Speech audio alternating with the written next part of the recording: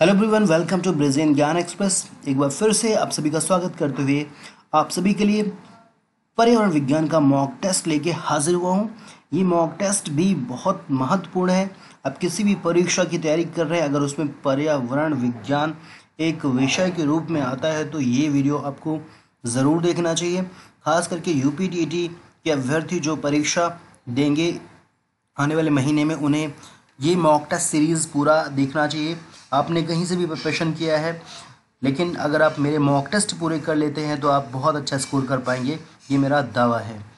तो चलिए, फ़िलहाल मैं यहाँ पे प्रश्नों की शुरुआत करता हूँ, और मैं आपको बता दूँ कि अभी मैं आपको सिर्फ़ प्रश्न बताऊँगा, विकल्प आपके सामने हैं।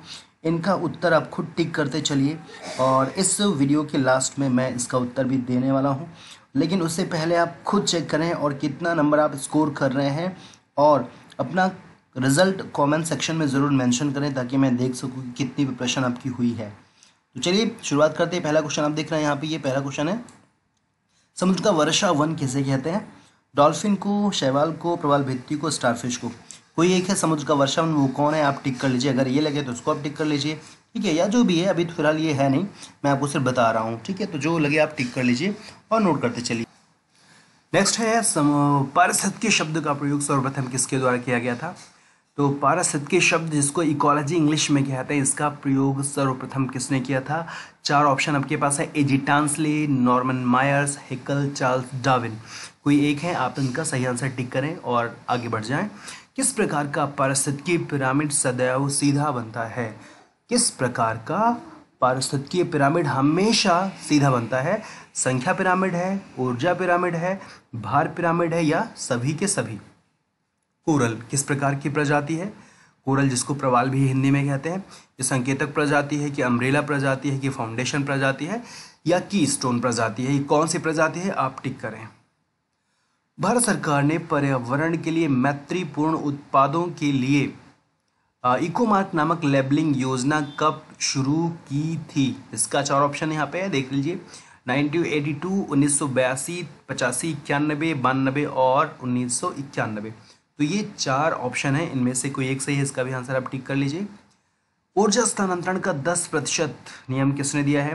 अर्नेस्ट हैकल ट्रांसले नॉर्मन मायर स्लेंडेमान प्रजनन शक्ति में कमी किस विटामिन की कमी से होती है? ये vitamin K vitamin twelve vitamin D vitamin E समुद्र पारितंत्र के उत्पादक कौन होते हैं? नेक्टन बैंथस फाइटोप्लैंक्टन जूप्लैंक्टन अभी आंसर नहीं दे रहे क्योंकि आप खुद करिए। उस गैस का नाम क्या है, जिसकी वजह से सामान्यता कोयले की खानों में विस्फोट हो जाता है? S O two C O two N O two C H four बांझवन या चैप्टल किन वनों को कहा जाता है। उष्णकटिबंधीय वर्षावन शीत शीतोष्ण कटिबंधीय वन भूमध्य सागरीय one, taiga one.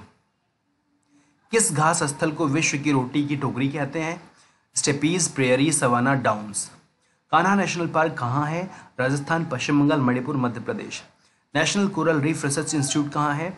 Panaji, Port Blair, Bhubaneswar, coral, Kerala. मैं फास्ट इसलिए पढ़ रहा हूँ, आप वीडियो पॉज करके क्वेश्चन आंसर खुद करते चलिए।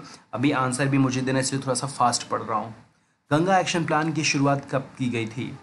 पंचानबे, पचासी, अठासी, इक्यासी। नवीन जलोढ़ मृदा को क्या कहते हैं? रेंगुर, बांगर, खादर, इनमें से कोई नहीं। ये ऑप्शंस हैं। संसार के किस देश के वनों में सर्वाधिक जैव विविधता पाई जाती है? अफ्रीका, ब्राज़ील, भारत, चीन। विश्व का कौन सा महाद्वीप है जहाँ मरुस्थल नहीं पाया जाता है? Asia, Australia, Europe, Antarctica. बताना है कौन सा जहाँ पे मरुस्थल नहीं पाया जाता है। कालाहारी मरुस्थल कहाँ पाया जाता है? ये मंगोलिया, चिली, बोत्सवाना, अफ्रीका। इन्हीं में से कहीं एक जगह पाया जाता है काला हरी मरुस्थल। किस गैस को दम घुटू गैस कहते हैं? चार ऑप्शन है C O two S O two N O two C O इन पाँच चारों में से कोई एक है जिसका नाम है दम घुटू गैस। गंगा की तटीय क्षेत्रों में भूमिगत जल में कौन से प्रदूषक की मात्रा अधिक पाई जाती है? बहुत ही महत्वपूर्ण प्रश्न है ये। इसका आंसर आप बताइए, फ्लोराइड की मात्रा या आर्सेनिक की मात्रा, मरकरी की मात्रा, कैडमियम की मात्रा। केंद्र सरकार द्वारा डॉल्फिन को राष्ट्रीय जलीय जीव कब घोषित किया गया था। वेरी वेरी इंपॉर्टेंट क्वेश्चन है ये। 8 अक्टूबर 2005, 5 अक्टूबर 2005, 5 अक्टूबर 2009 या फिर 10 अक्टूबर 2010 देश का प्रथम जैविक राज्य कौन बन गया है? प्रथम जैविक राज्य मणिपुर है कि सिक्किम है कि उत्तर प्रदेश है कि केरल? ये आपको बताना है। इसका एक कौन सा प्रथम जैविक राज्य है? फ़र्स्ट ऑर्गेनिक स्टेट कौन बना है? राम सर संरक्षण पुरस्कार 2002 किस स्थल को प्राप्त हुआ था? लोकटक झील, चिल्का झील, शांत घाटी फूलों की घाटी। कपड़ा उद्योग से जुड़े मजदूरों को कौन सा रोग हो जाता है? बेगासोसिस, बेसिनोसिस, सिलिकोसिस स्वेस्टोसिस ये चार रोग में से कोई एक है जो कपड़ा उद्योग से जुड़े लोगों को हो जाता है। पौधों के लिए आवश्यक पोषक तत्वों की संख्या कितनी होती है? ये 18 है कि 16 है कि 20 है कि 15 इनमें से कोई एक है, वो आप टिक कर लीजिए। कार्बनिक प्रदूषकों को 95 परसेंट दूर करने में कौन सा पादप सक्षम होता है? बहुत बहुत महत्वपूर्ण है। वाइट विलो हाइड्रेंजिया पॉपुलर भारतीय घास, कौन सा है? बताइए। विश्व का एक पात्र तैरता हुआ पार्क कहाँ स्थित है? उड़ीसा में है, राजस्थान, सिक्किम में, मणिपुर में। इसमें से कोई एक है। वर्तमान में भारत में कुल कितना राष्ट्रीय उद्यान है? वर्तमान में भारतीय में कुल कितने आप? ऑप्शन 105, 102, 103, 109 इनमें से कोई एक आंसर है।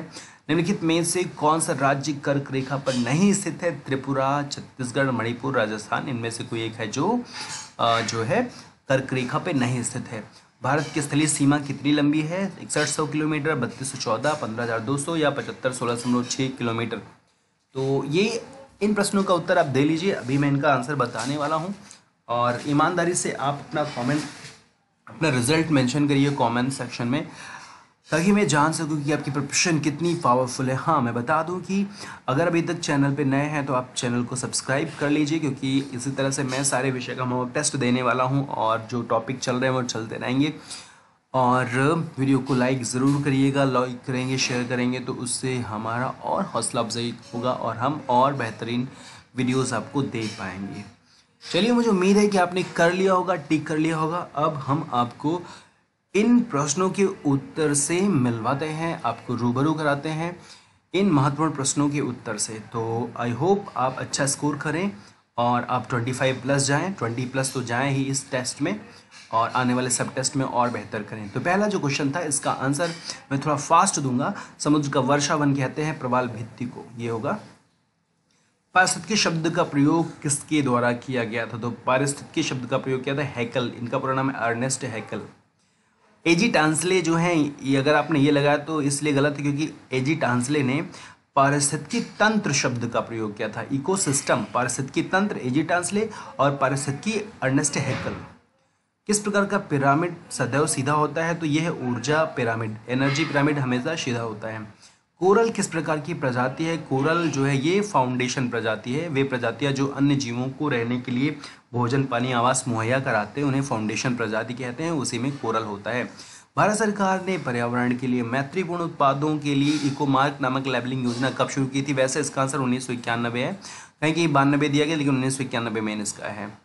ऊर्जा स्थानांतरण का 10 प्रतिशत नियम किसने दिया बहुत इजी बहुत महत्वपूर्ण है ये ए जी सॉरी ये है लिंडेमान लिंडेमान प्रजनन शक्ति में कमी किस विटामिन की कमी से होती है, इसको नपुंसकता रोग भी कहते हैं, ये होता है विटामिन ई e. समुद्र पारितंत्र के उत्पादक कौन होते हैं? समुद्र पारितंत्र में उत्पादक होते हैं शैवाल, जो फाइटो प्लैंकटन के अंतर्गत आते हैं। मैंने आपको अपने वीडियोस में पढ़ाया था कि समुद्र में फोटिक जोन में जो है प्लैंकटन पाए जाते हैं। जो दो तरह के होते हैं फाइटो प्लैंकटन जू प्लैंकटन तो फाइटो जिन्हें शैवाल कहते हैं, वो समुद्र के उत्पादक होते हैं। उस गैस का नाम क्या, जिसकी वजह से सामान्यतः कोयले की खानों में विस्फोट होता है, उसका नाम है मीथेन, जिसे मार्च गैस भी कहते हैं। ये सी एच फोर डी वाला ऑप्शन है। ये आपको याद रखना होगा। इसके बाद बांजवन चैप्रल किससे कहते हैं? बांजवन चैप्रल था ये आपका ये भी भूमध्य सागरी वन को कहते हैं। ये वाला आपका है। किस घास स्थल को विश्व की रोटी की टोकरी कहते हैं? बहुत महत्वपूर्ण है। ये है प्रेरी, जो कि उत्तरी अमेरिका में पाया जाता है। Kanha national park very easy Madhya Pradesh में है। National coral reef research institute महत्वपूर्ण क्वेश्चन है, पोर्ट ब्लेयर में है ये। गंगा एक्शन प्लान की शुरुआत कब की गई थी? उन्नीस सौ पचासी में राजीव गांधी के समय में।